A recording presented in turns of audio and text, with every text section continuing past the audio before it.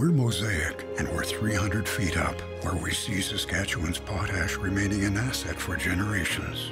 We can see tomorrow from here, and when tomorrow arrives, we'll still be here, beside you.